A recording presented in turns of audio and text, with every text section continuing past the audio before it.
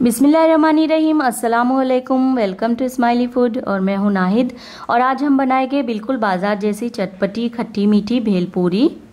भेल चाट कैसी बनी है सबाक साहब? बहुत अच्छी बनी है। स्ट्रीट जैसी भेल बनाने के लिए देखिए यहाँ पर हमने उबले हुए आलू लिए हैं जिसे इस तरह से काट लिया है।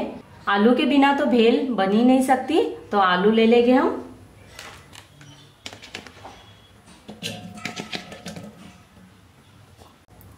बारीक कटे हुए टमाटर ले रही हूँ इसमें मैं।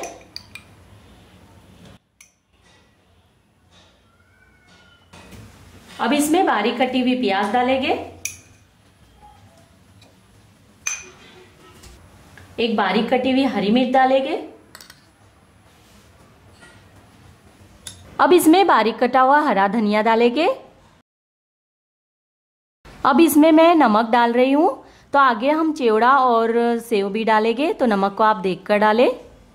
अब इसमें एक चम्मच काला नमक ऐड करेंगे। एक चम्मच चाट मसाला।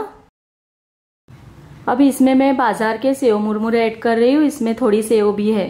यहाँ पर कोई मेज़रमेंट नहीं है, आप अपने स्वाद के हिसाब से कम या ज़्यादा भी डाल सकते हो। ये मेरे पास मिक्स चेवड़ा है, इसमें गाठिए सेव, मूंगफली मकाई है तो इसमें सभी तरह का फ्लेवर है, जिससे हमारी भेल जिस तरह से स्ट्रीट में लारी वाले भैया पास मिलती है, बस उसी तरह का टेस्ट आएगा। आपके पास कोई भी फ्लेवर का खट्टा, मीठा, तीखा चिवड़ा हो, उसे आप ले सकते हो। अब मैं इसमें बारीक से ऐड कर रही हूँ। अब यहाँ पर मेरे पास पानी पूरी की पूरिया है। मैं वो ले रही हूँ। आपके पास पापड़ी हो तो आप वो भी डाल सकते हो। अब मैं इसमें लहसुन और लाल मिर्च की चटनी डाल रही हूँ। आप चाहो तो लाल मिर्च पाउडर भी ले सकते हो। यहाँ मैं हरे धनिए की चटनी डाल रही हूँ। मेरे घर लाइट नहीं थी तो मैंने चॉपर में बनाया है। आप इसे मिक्सी में ही बनाइएगा। अब मैं यहाँ पर डाल रही हूँ इमली की चटनी, जो बहुत ही ज़रूरी है, तभी तो खट्टा मीठा स्वाद आता है। तो अगर आपको कम पसंद है, कम डालिए, ज़्यादा पसंद हो, ज़्यादा डालिए। बिना इमली के चटनी के भी आप बना सकते हो, लेकिन असली जो बाज़ार वाला तरीका है तो इसमें तो ये इमली की चटनी पड़ती ही है। आप चाहो तो एक नींबू का रस भी डाल सकते हो।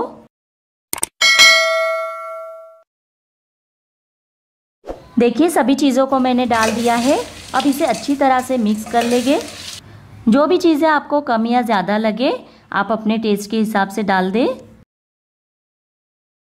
इसे बनाना बहुत ही आसान है, बस सामान होना चाहिए। तो लीजिए, हमारी बिल्कुल स्ट्रेट स्टाइल चटपटी खट्टी मीठी भेलपूरी तैयार है।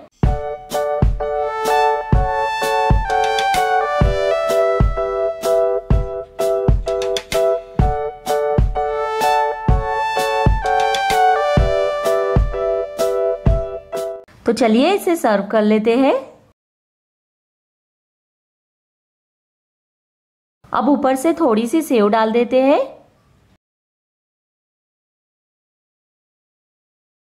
अब ऊपर से खट्टी मीठी इमली की चटनी डाल देते हैं।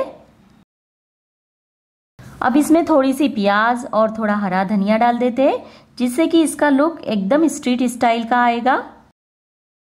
बिस्मिल्लाहिर्रहमानिर्रहीम।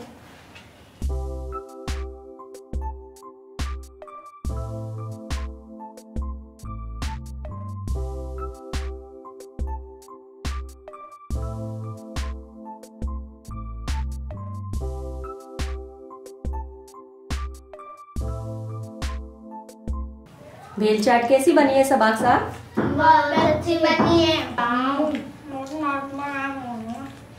अगर आपको मेरी रेसिपी पसंद आई हो तो मेरे वीडियो को लाइक और शेयर ज़रूर कीजिएगा और अगर आप मेरे चैनल पर नए हो तो सब्सक्राइब कीजिएगा।